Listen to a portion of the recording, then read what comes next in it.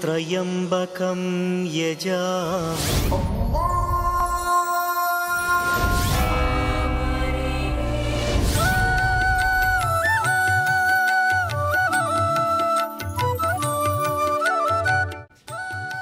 வணக்கம் வேந்தரின் இறைவனருள் ஆன்மீக நிகழ்வுகளின் தொகுப்புக்காக பிரவீணா முதன்மை நிகழ்வுகள் மதுரை மீனாட்சி அம்மன் கோவிலில் ஆவணி மூல திருவிழா சுவாமியும் அம்மனும் தங்கப்பல்லக்கில் எழுந்தருளி வீதியுலா.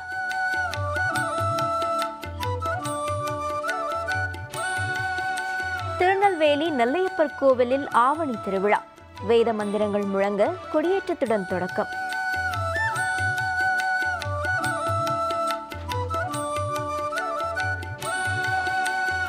மேல்மலையனூர் அங்காளம்மன் கோவில் ஊஞ்சல் உற்சவம். எண்ணற்ற பக்தர்கள் திரண்டு வழிபாடு.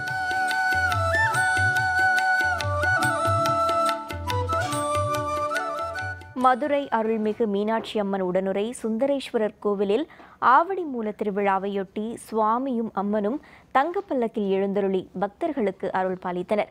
மதுரை அருள்மிகு மீனாட்சி அம்மன் உடனுரை சுந்தரேஸ்வரர் கோவிலில் மாதந்தோறும் பல்வேறு விழாக்கள் நடைபெறுவது வழக்கம்.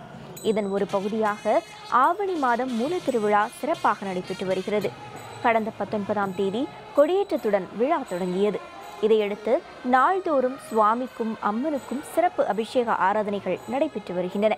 மேலும் மாலை வேளைகளில் பல்வேறு வாகனங்களில் வீதி உலாவும் நடைபெறுகிறது. இதன்படி சுவாமியும் அம்மனும் பிரியாவிடையும் தங்கப்பல்லக்கில் எழுந்தருளினர். இதனைத் தொடர்ந்து வீதியுலா வந்த அம்மனையும் சுவாமியையும் அங்கு திரண்டிருந்த பக்தர்கள் வணங்கி அருளாசி பெற்றனர்.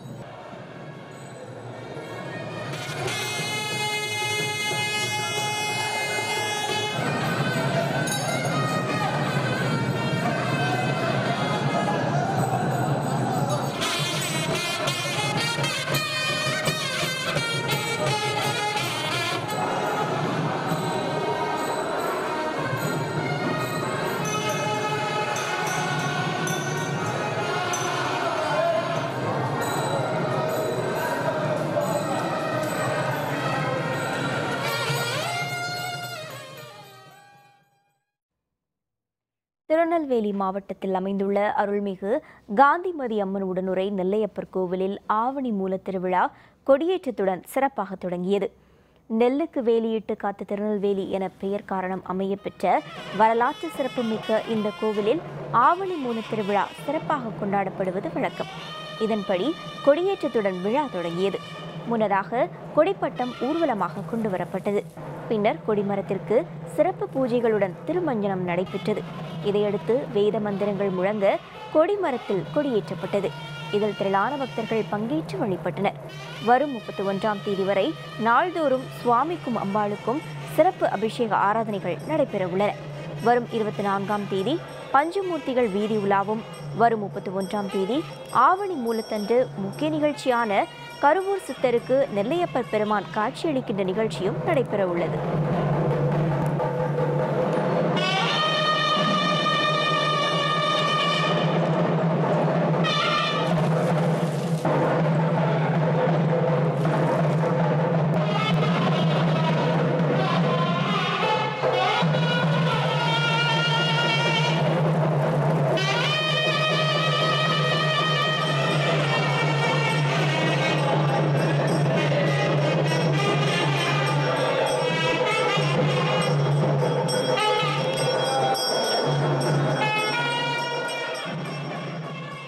ஒன்றையனார் கோவிலில் சிவஸ்வரூபமாக லிங்கமூர்த்தியாக காட்சி கொடுத்து சுவாமி வந்து அனுகிரகம் பண்ணுறார் அவர். இந்த திருநாள் கொடியேற்றி நாலாம் திருநாள் எப்போதும் போல் ரிஷபவாகனம். ஒவ்வொரு மாதமும் திருவிழாவில் நாலாம் திருநாள் ரிஷபவாகனம் பெறப்படும். இந்த மாதம் அதேமாதிரி நாலாம் திருநாள் ரிஷபவாகனம் புறப்பாடாகி சுவாமி வருவார். அதே மாதிரி ஏழாம் திருநாள் நடராஜர் புறப்பாடு உண்டு. சோப்பு சாத்தி வெள்ளை சாத்தி பச்சை சாத்தி உற்சவங்கள்லாம் முடிஞ்சு சுவாமி எப்போதும் போல ஒன்பதாம் திருநாள் அன்னைக்கு திருத்தேர் கண்டருளி. பத்தாம் திருநாள் வந்து சுவாமி கரூர் சித்தர் வந்து இருந்தருள்வார் பதினோராம் நாள் சுவாமி காட்சி கொடுக்கும் வைபவம் வந்து மிக சிறப்பாக வந்து இந்த ஊரில் நடந்துட்டுருக்கு. விழுப்புரம் மாவட்டம் மேல்மலையனூர் அருள்மிகு அங்காளம்மன் கோவிலில் நடைபெற்ற ஊஞ்சல் உற்சவ விழாவில் எண்ணற்ற பக்தர்கள் பங்கேற்று அம்மனை வழிபட்டனர். செஞ்சி அடுத்துள்ள மேல்மலையனூரில் அமைந்துள்ள இந்த கோவில் பிரசித்தி பெற்ற சக்தி திருத்தலங்களில் ஒன்றாகும். இங்கு மாதந்தோறும் அமாவாசை நாளில் அம்மனின் ஊஞ்சல் உற்சவம் நிகழ்ச்சி நடைபெறுவது வழக்கம். இதில் தமிழகம் மட்டுமின்றி பல்வேறு மாநிலங்களிலும் இருந்து திரளான பக்தர்கள் பங்கேற்று அம்மனை வழிபட்டு செல்கின்றனர். பிள்ளை சூனியம் உள்ளிட்ட தீய சக்திகளின் தாக்கம் உள்ளவர்கள் இந்த கோவிலுக்கு சென்று வழிபட்டால் அவை விலகும் என்பது ஐதீகம். இந்நிலையில் அமாவாசை நள்ளிரவில் ஊஞ்சல் உற்சவம் நடைபெற்றது. முன்னதாக சிறப்பு அலங்காரத்துடன் அருள்மிகு அங்காளம்மன் ஊஞ்சலில் எழுந்தருளி பக்தர்களுக்கு அருள் பாலித்தார். இதனைத் தொடர்ந்து அம்மனுக்கு தாலாட்டு பாடல்கள் பாடப்பட்டன. அப்போது அங்கு திரண்டிருந்த பக்தர்கள் கையில் தீபம் ஏந்தி அம்மனை வணங்கினர்.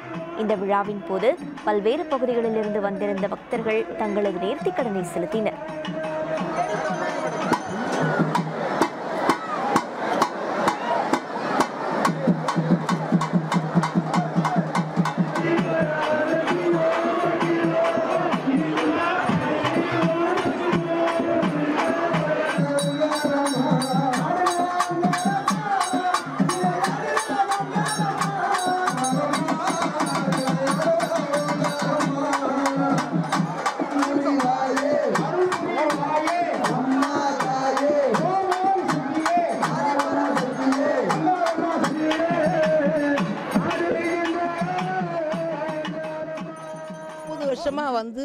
இந்த எனக்கு எல்லாவுடைய நிம்மதியும் சந்தோஷமும் என் வீட்டுக்காரர் குடிக்கிறது கிடையாது. எனக்கு என் பிள்ளைங்க நல்லா இருக்கிறாங்க. என் பொண்ணு நல்லா இருக்குது. யாருக்கும் எந்த குறையும் இல்லை. நானாக வந்துன்னு தான் இருக்கிறேன். என் மூச்சு இருக்குதுன்னே இந்த கோயிலுக்கு நான் வருவேன். அந்த அம்மா தரிசனம் எனக்கு அந்த அம்மா அருள் இருக்குது. அந்த அம்மா என் சிரசில் இருக்கிறாங்க. புதுச்சேரி சாரத்தில் அமைந்துள்ள அருள்மிகு புற்றுக்கருமாரியம்மன் கோவிலில் ஊஞ்சல் உற்சவ விழா சிறப்பாக நடைபெற்றது. புதுச்சேரி சாரம் பகுதியில் கவிகுயில் நகரில் அமைந்துள்ள அருள்மிகு புற்றுக்கருமாரியம்மன் கோவிலின் இருபத்தி இரண்டாம் ஆண்டு பிரம்மோற்சவ விழா கடந்த பதிமூன்றாம் தேதி தொடங்கியது.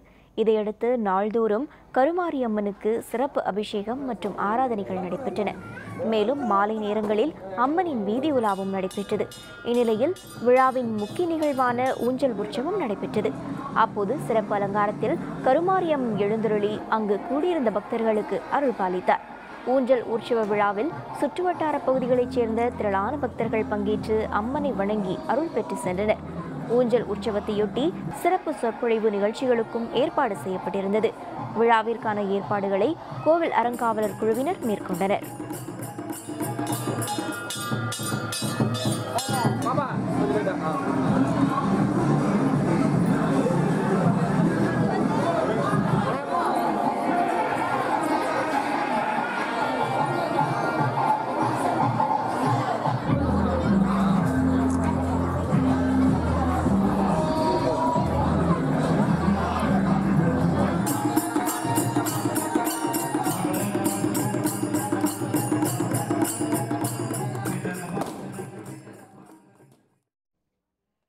சிவபெருமானுக்கு அதிபத்த நாயனார் தங்க மீன் அளிக்கும் விழா. நாகப்பட்டினம் கடற்கரையில் குவிந்த பக்தர்கள். விவரம் விளம்பர இடைவேளைக்கு பிறகு.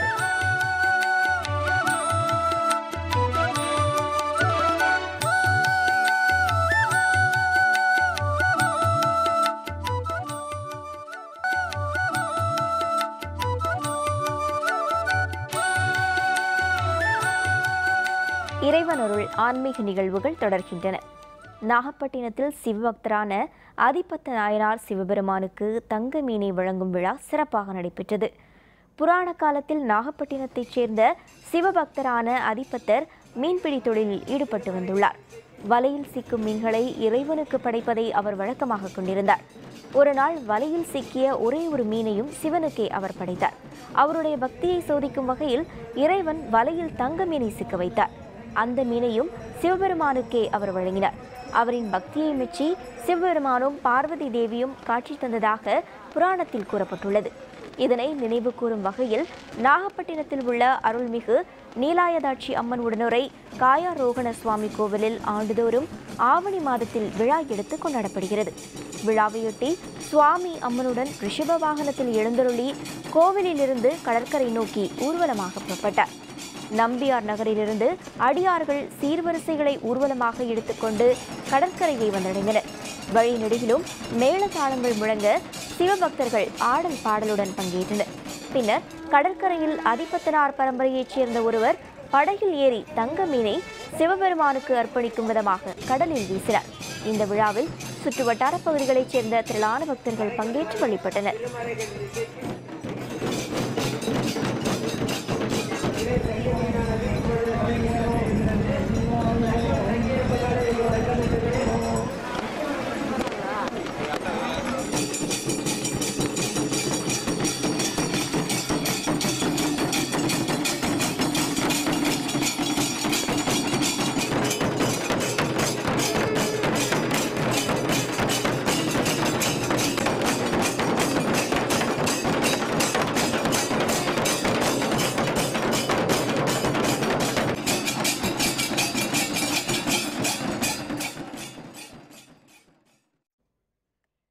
திருநெல்வேலி தாமிரபரணி ஆற்றங்கரையில் அமைந்துள்ள அருள்மிகு உச்சிஷ்ட கணபதி திருக்கோவிலில் விநாயகர் சதுர்த்தி விழாவுக்காக நடைபெற்ற கொடியேற்றத்தில் திரளான பக்தர்கள் கலந்து கொண்டனர்.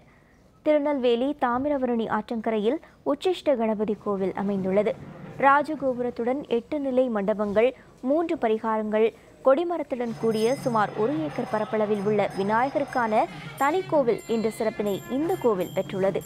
ஆசியாவிலேயே பெரிய விநாயகர் கோவிலாக கருதப்படும். இங்கு வரும் பக்தர்கள் தாமிரவரணி ஆற்றில் நீராடிவிட்டு விநாயகரை வழிபட்டால் தோஷங்கள் நீங்கும் என்பது பக்தர்களின் நம்பிக்கை. இத்தகைய சிறப்புகளை கொண்ட இந்த கோவிலில் நானூறு ஆண்டுகளுக்கு பின்னர் கடந்த ஆண்டில் குடமுழுக்கு நடைபெற்றது. இந்நிலையில் விநாயகர் சதுர்த்தி விழாவுக்கான கொடியேற்றம் இன்று சிறப்புடன் நடைபெற்றது. இதையொட்டி அதிகாலை அணுக்கை விக்னேஸ்வர பூஜை கணபதி ஹோமத்துடன் விழா தொடங்கியது. பின்னர் கொடி கம்பத்திற்கு சிறப்பு பூஜைகள் நடத்தப்பட்டு வேத மந்திரங்கள் முழங்க கொடியேற்றப்பட்டது. இதில் திரளான பக்தர்கள் பங்கேற்று வழிபட்டனர். தொடர்ந்து பத்து நாட்கள் நடைபெறும் விழாவில் நாள்தோறும் காலையில் யாகசாலை பூஜைகள் மற்றும் அபிஷேக ஆராதனையும் மாலையில் மூஷிக வாகனத்தில் விநாயக பெருமானின் வீதி உலாவும் நடைபெற உள்ளன. விழாவின் பத்தாவது நாளில் ஆயிரத்தி எட்டு சங்காபிஷேகமும் தீர்த்தவாரியும் நடைபெற உள்ளது.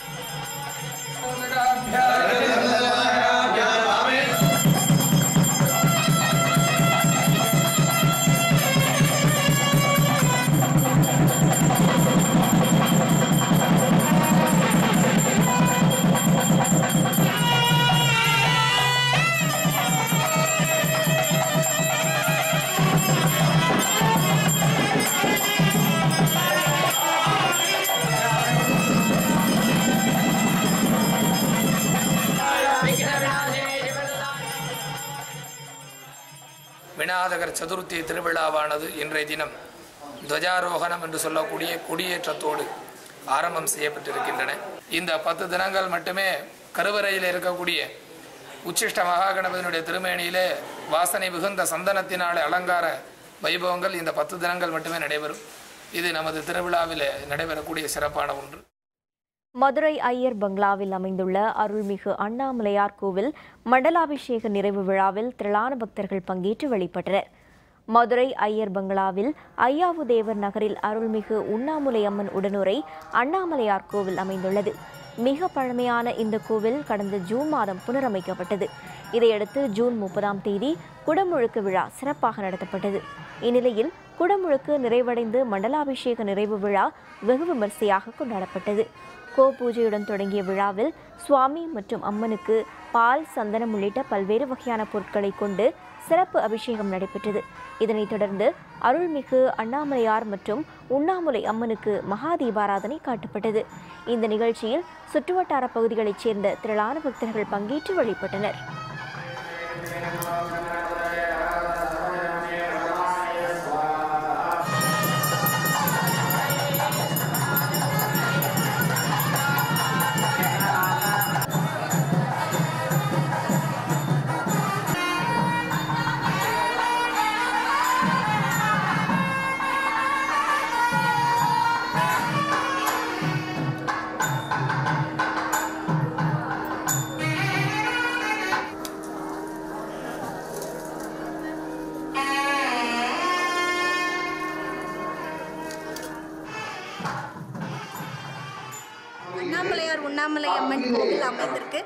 இது கட்டி பதிமூன்று ஆண்டுகள் நிறைவடைஞ்சிருக்கு. இப்போ அந்த அதுக்கு மறுபடியும் கும்பாபிஷேகம் பண்ணியிருக்காங்க. அதுக்கு மண்டல பூஜை இப்போ நாளையோட நிறைவு பெறுது. அதுக்காக இப்போ இன்னைக்கு வந்து முற்றோதல் நிகழ்ச்சிகள்லாம் நடந்துகிட்டு இருக்கு சேலத்தில் பதினெட்டு சித்தர்களுக்கு சிறப்பு பூஜை. அர்ச்சனை செய்து வழிபட்ட பெண்கள். விவரம் விளம்பர இடைவேளைக்கு பிறகு.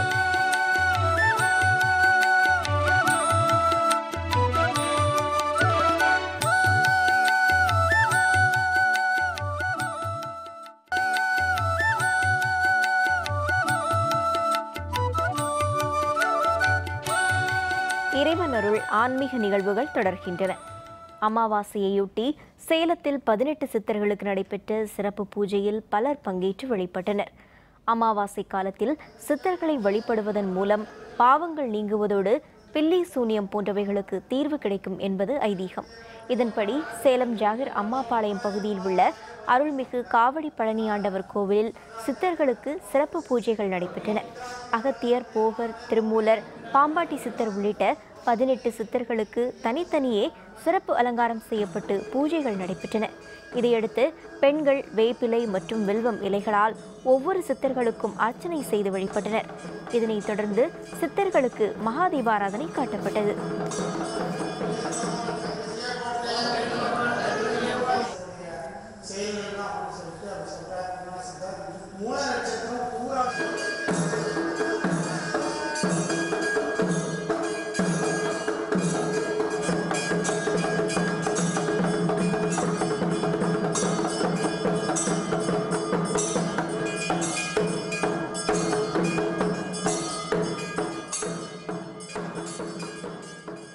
சகல பாவங்களையும் போக்கக்கூடியவர் சித்தர்கள்.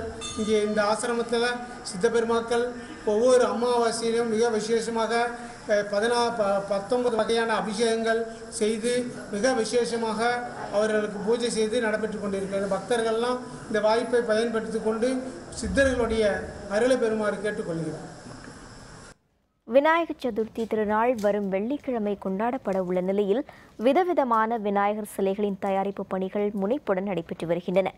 விநாயகர் சதுர்த்தி திருநாள் வரும் வெள்ளிக்கிழமை நாடு முழுவதும் கொண்டாடப்பட உள்ள நிலையில் விநாயகர் சிலைகள் தயாரிப்பு பணிகளில் சிலை தயாரிப்பு தொழிலாளர்கள் முனைப்புடன் ஈடுபட்டுள்ளனர். கடலூரில் பல்வேறு வகையான விநாயகர் சிலைகள் தயாரிக்கும் பணிகள் நிறைவடைந்த நிலையில் அவற்றுக்கு வர்ணம் தீட்டும் பணிகள் நடைபெற்று வருகின்றன. வர்ணம் தீட்டப்பட்ட விநாயகர் சிலைகள் தமிழகம் மட்டுமின்றி அண்டை மாநிலங்களுக்கும் விற்பனைக்கு அனுப்பப்பட உள்ளது. கடந்த ஆண்டை காட்டிலும் புதுவிதமான விநாயகர் சிலைகள் தற்போது தயாரிக்கப்பட்டுள்ளதாக கூறும் தொழிலாளர்கள் எனினும் இந்த ஆண்டு விற்பனை குறைவாகவே உள்ளதாகவும் தெரிவிக்கின்றனர். சிலை வந்து நல்ல ஒரு சுறுசுறுப்பு இல்லாமல் இருக்குது இந்த விநாயகர் சக்தி மக்கள் வந்து இதை பார்த்துட்டு இன்னும் மூணு நாள் நாலு நாள் தான் இருக்குது விநாயகர் சக்தி இதை பார்த்துட்டு எங்களுக்கு வந்து ஒரு ஒத்துழைப்பு கொடுத்தா நல்லதாக இருக்கும். விநாயகர் வேலை வந்து மும்பரமாக நடந்துக்கிட்டு இருக்குது.